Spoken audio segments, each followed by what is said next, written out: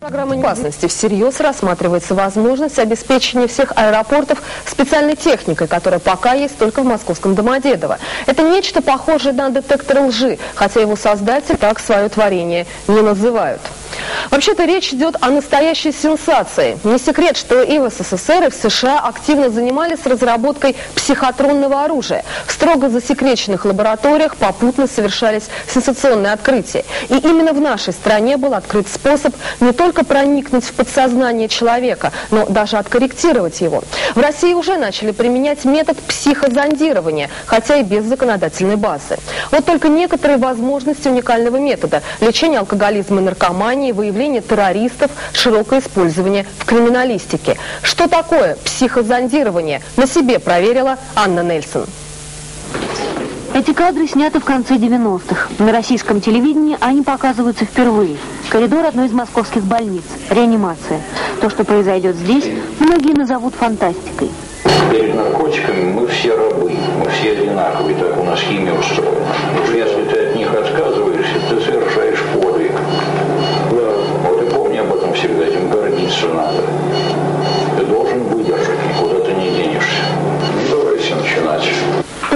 дают такую дозу наркоза, чтобы отключилось только его сознание, а затем искусственно вводят его в состояние стресса.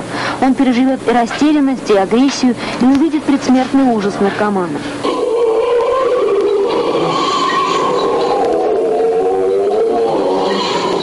Его подсознание как бы впечатывают его же собственные установки. Наркотики – зло, родители и близкие – спокойная жизнь.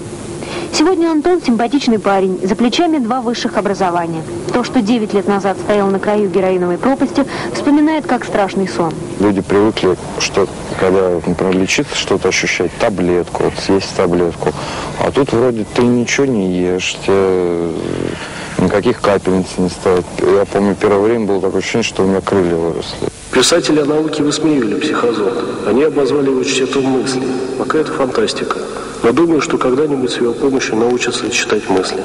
Все начиналось в этом московском подвале первого мединститута. В конце 70-х здесь открылась лаборатория, которую возглавил молодой ученый Игорь Смирнов.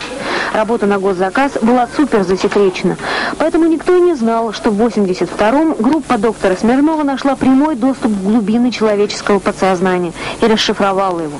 В узких кругах заговорили, что доктор Смирнов изобрел психотронное оружие. Атомная энергия используется двояко. Но сначала, тем не менее, сделали бомбу, и только потом атомную электростанцию. А у нас получилось наоборот. Вот мои коллеги и я, мы делаем оружие, конечно же, это оружие для борьбы с болезнями человека. Чтобы понять, что это открытие может означать, сажусь перед компьютером, на голову надеваю наушники, на палец датчик. Будьте внимательны. Если готовы, нажмите кнопку. Процедура начнется. Психозондирование начинается. На мониторе пульсирует набор из разных цифр. Цифры – это то, что я могу видеть. Но я не могу видеть главного, мелькающие под цифрами слова. И именно их, минуя сознание, фиксирует мой мозг. В наушниках приятная музыка, но вмонтированный в нее голос, который постоянно задает вопросы, слышит лишь подсознание. Через 30 минут мне покажут картинку моей души.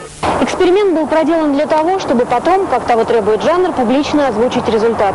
Но компьютер оказался скальпелем, вскрывшим настолько личные подробности моей жизни, что они не подошли бы как универсальный гороскоп никому из этих прохожих. Остается лишь констатировать. Компьютер сумел поднять из архивов моей памяти особенности истории моего рождения, до сих пор известные только моей маме, мои склонности, секреты из моего детства, мое отношение к жизни и то, чего я больше всего боюсь. Ты знаешь, что такое психозондирование? Это то, чем лечат сошедших с ума, доктор? Не только, еще преступников, чтобы излечить их рассудок или изменить в них то, что заставляет их красть и убивать. За этим человеком долго охотилась краснодарская милиция. На его совести несколько убийств. Но следствие заходит в тупик. Для расследования привлекают специалистов из закрытого спецотдела психофизиологических исследований ГУВД Краснодарского края. Это единственное в мире подразделение, работающее по методикам доктора Смирнова. Специалисты составляют индивидуальную программу для психозондирования подозреваемого. Сидя за компьютером, он даже не догадывается, что отвечает на конкретные вопросы не только по убийствам, но и по другим темам. Мы на психозонде получили и актуальность темы терроризм, и похищение людей, и торговля оружием, то есть массу информации, о которой мы ранее не подозревали. Результаты психозондирования затем проверяют оперативники. И их уже не удивляет, что факты подтверждаются. Тем же методом проверили местных сотрудников милиции, после чего некоторым пришлось распрощаться с погонами. Впрочем, лгать не умеет и подсознание власть имущих. Краснодарский губернатор попросил изучить моральный облик своей новой администрации. Результаты впечатлили. Половина из тех, кто предлагал свои услуги в качестве руководителей департамента, управлений, э, администрации края, они просто по своим профессиональным качествам и не подошли э, к такой должности. Психотехнологии доктора Смирнова уже собираются внедрять в московском аэропорту Домодедово. Предполетный тест для пассажиров под названием «Антитеррор» одним из первых проверил на себе наш оператор. При появлении каждой новой мозаичной картинки на мониторе он должен был нажимать на кнопку. По скорости его реакции определялось его отношение к закодированным темам – боевик, бомба, лидер, теракт. Вот так картинки выглядят в незакодированном виде. По результатам теста нашего оператора смело посадили бы в самолет. Наблюдается некоторая тенденция э, к приближению к порогу достоверности по теме теракт. Тема терактов для Бориса действительно болезненная. В объектив телекамеры он видел обстрелы Бесланской школы и Нордост. Когда весь мир следил за событиями на Дубровке, оперативный штаб пригласил ученых. Ими были супруги Игорь Смирнов и Елена Русалкина, которые знали, как закодировать команды на снижение агрессии боевиков и вмонтировать их в любой звук. Мы могли бы дестабилизировать ситуацию в зале максимум за два часа.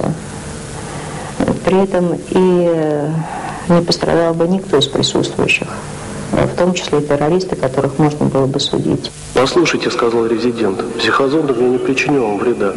Просто вы так возбуждены и встревожены, я лишь удалю тревогу». Еще полвека назад писатели-фантасты предсказывали появление психозонда.